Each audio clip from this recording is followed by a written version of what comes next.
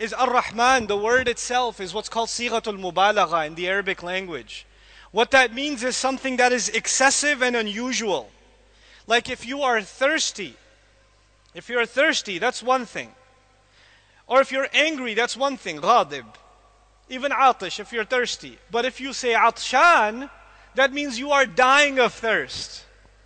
That means if you don't drink, you're going to die. You could not be thirstier. Any more thirsty than this, and you will be dead.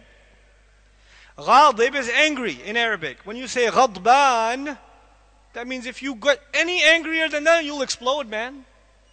Your head will pop off your body. You know? Allah says Ar-Rahman.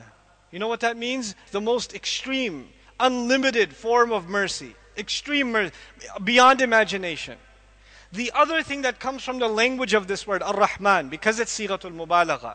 The origin, some grammarians argue, of Mubalagha is ism fa'il. What that means is that it is happening right now. It's happening right now. It's one thing to say Allah cares. It's one thing to say Allah is loving. It's one thing to say Allah protects. But it's another to say Allah is protecting me when? Right now. He's caring about me right now. He's concerned with me right now. He is delicate with my situation right now.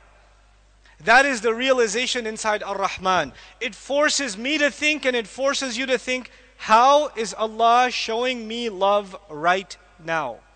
Immediately. Not tomorrow, not later. Every one of us has problems.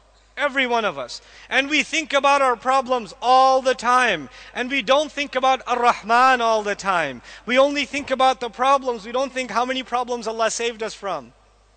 Because that's human nature. We don't appreciate the things that we have until they're gone. This is something that one should think about every day. Just stop at Ar-Rahman. Just stop. And just think, what, what does that mean? What is Allah doing for me?